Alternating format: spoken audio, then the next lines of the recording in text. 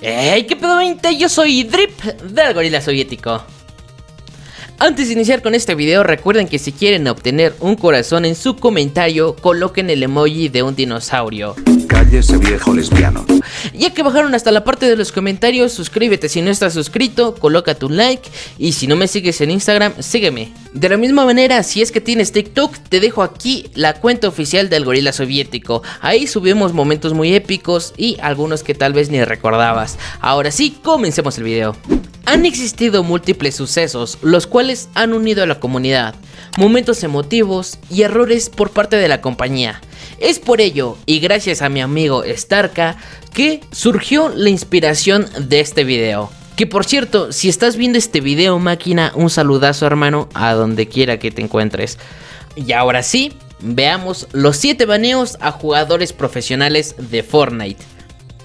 Vayamos primero con algo que a la comunidad tal vez no le suene mucho, pero si bien este caso no fue tan resonado como muchos otros, Marky Rompecosas Locuras, bien conocido por la comunidad de Fortnite, durante un torneo presencial de Fortnite, fue baneado, entre grandes comillas, debido a que el juego se bugueó, y al momento de que fue derribado no pudo ser rematado por el contrincante que ya lo había dauneado. Esta situación ya se ha dado en otras partidas con otros jugadores, pero el motivo que ocasionó el ban de Marky fue que uno de los supervisores, una de las personas de staff que se queda viendo las partidas de los jugadores para evitar que hagan equipo, para evitar que hagan trampa o si le surge algún error de conexión, se percató y dio aviso a las personas que organizaban el torneo y estas le pidieron a su vez a Marky que abandonara la partida debido a que no fue culpa suya, sí, pero aún así el juego estaba con un error y eso le da un poco de ventaja. Como puesto número 7, Marky Locuras. Regresemos al capítulo anterior. ¡Es hermosa! Días antes de la World Cup en la clasificatoria hacia dúos, dos jugadores resaltaron demasiado, pero no por un buen motivo. Los jugadores Ronaldo y también Said fueron atrapados haciendo trampa para colocarse en una mejor posición para clasificarse a la World Cup Duos. Aquí cabe resaltar cómo hacían trampa. Los jugadores se pusieron de acuerdo con otros amigos para que cayeran en el mismo spot que ellos y así regalarles unos cuantos puntos. Además recuerden también les dan salud en las reglas de competitivo y algunos materiales. Entonces eso fue motivo de ban para la primera clasificatoria. De hecho uno de ellos ya había clasificado como segundo lugar después de de Tifio para ir a la World Cup. Pero debido a esta trampa, a esta trampa maldita, Fue así como se eliminó su clasificatoria a la World Cup, pero desafortunadamente no sirvió de nada. Solamente le quitaron la oportunidad de ir por esa clasificación. Pero de cualquier forma, Epic no fue tan duro con ellos y les permitió ir a la World Cup Duos debido a que se clasificaron una segunda ocasión, pero ahora sin hacer trampa. Y sí, suena bastante injusto y de hecho lo es, pero aún así quedarán marcados porque la gente lo repudiaba durante la World Cup y fueron el reír de todos cuando los mataban. Oh, and is out of here. Funk, Ahora bien, creo que ese es un bien conocido de este tema. Hablo de Face Jarvis. Y totalmente opuesto a los sujetos que se colocaron en el punto anterior del video, Face Jarvis sí estuvo a punto de clasificar dos veces a la World Cup por mérito propio. No le metió partida, sí, mala suerte, de hecho, malísima suerte. Una perro lo cagó, yo supongo, porque la verdad, ese sujeto fue el más desafortunado durante esa época y vio ir su oportunidad a la World Cup. Tú deja el dinero, el dinero ese güey ya está en Face, ya gana, pero estar en la World Cup solamente porque no te encontró partida, no, si estás bien pinche jodido. Pero bueno, el chiste es que Face Jarvis siendo una persona tan icónica en el mundo de Fortnite, háblese de comunidad hispana, háblese de comunidad de habla inglesa, pues tenemos que aceptar que es una persona que ha dado de mucho que hablar. Ha sido un jugador de mando bastante prodigioso, bueno, lo fue, de hecho ya está baneado, ya no puede jugar Fortnite. Creo que ya hasta ni puede tocar un control, algo así viene un pinche video. Pero analicemos más o menos qué pudo haber pasado por la cabecita de Jarvis. A ver, ¿qué haré el día de hoy? Ya sé, le voy a dar en la madre a toda mi carrera. Sí, eso puede ser, no creo que nada salga mal, pues ni modo que me banen. No, no, yo creo, yo lo voy a hacer hoy. Y fue así como descargó hacks para Fortnite, lo subió en un video y pensó que no tendría repercusión en un futuro. Y como a tío Epic no le pareció tan buena idea, lo banearon. Como puesto número 5, Face Jarvis. Como siguiente puesto tenemos a dos conocidos ya en esta serie de baneos. Hablamos del antiguo Ghost Aidan, ahorita ya solo es Aidan, y también sobre Unknown Army. Estos dos jugadores han sido baneados de forma temporal. Aidan por jugar en una cuenta que no era la suya y aprovecharse de las personas de una división menor, que en un video previo les expliqué que se conoce como Smurfing. Y por otro lado nos encontramos con Unknown Army el jugador desconocido fue baneado debido a que promocionó falsamente que fue baneado. Esto quiere decir que anduvo de chismoso por ahí diciendo, ay, me banearon, me banearon.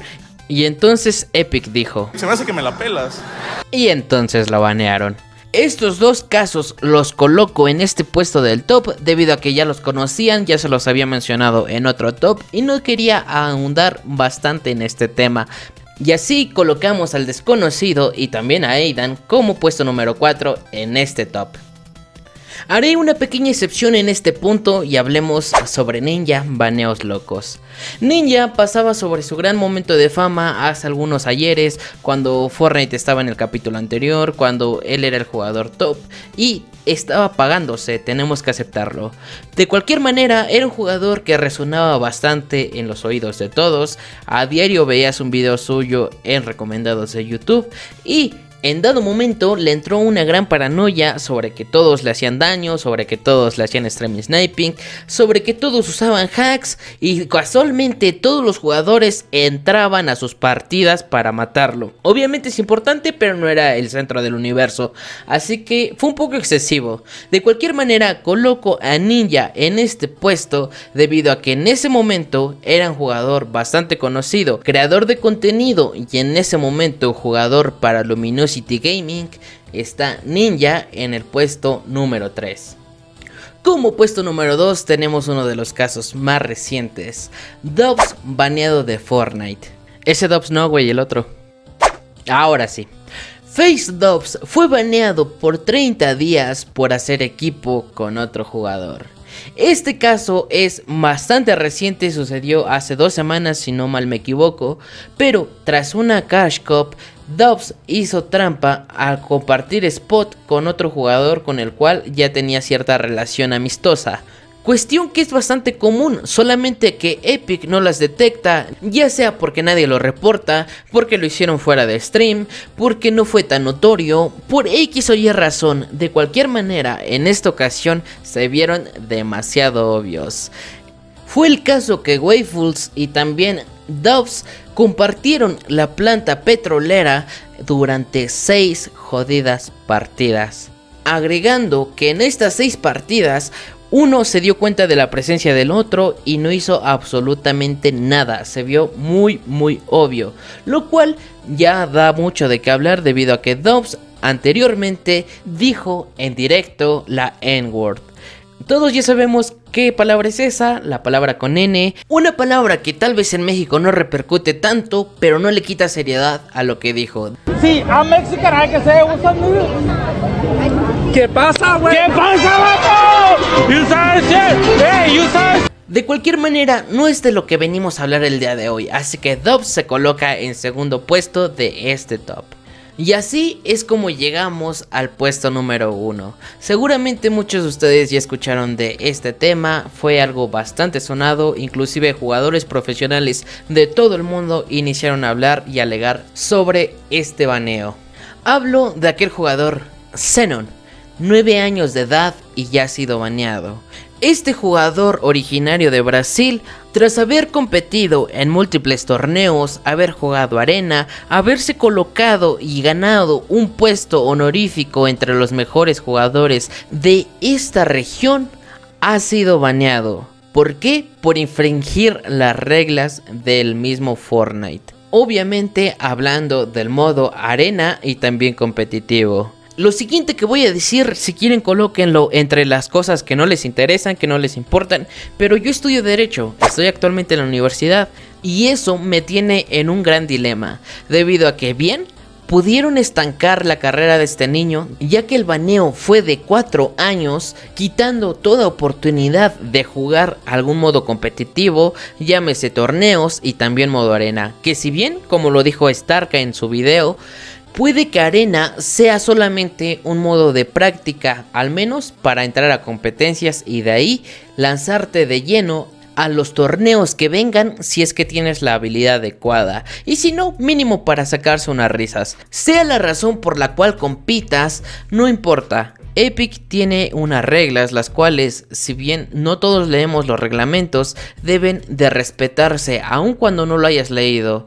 Al momento de que diste aceptar para entrar a jugar este modo de juego, llámese arena o torneos, das el consentimiento y Epic revisa si es que eres una persona con la edad para participar en alguno de estos modos de juego. Pero bueno, mi tarea no es de convencerlos por quién tiene la razón, si es que Epic fue muy duro, si es que el niño pues estuvo equivocado en participar sabiendo que no tenía la edad, o bien si tú consideras que tenía la edad, pero está bien que Epic lo banee debido a que pues infringió las reglas, la idea que tengas hermano es respetable. La cuestión es que el baneo de Xenon va a durar durante 4 años, en lo que llega a una edad adecuada para competir. De cualquier forma, al ver el tiempo que estaba baneado este chico, solamente se me ocurrió una cosa. ¡Ajá! ¡Se mamó! Y chicos, espero que les haya gustado este video, en verdad que me complace hacer videos de este tipo, espero que les guste. Cualquier cosa, los veo en Instagram, mándenme un mensaje, síganme si no me han seguido, suscríbanse si no están suscritos, recuerden utilizar el código PATO si quieren un control profesional con un diseño extraordinario en la tienda de Scuff Gaming. Ahora sí, yo me despido, yo soy Drip del Gorila Soviético, bye bye.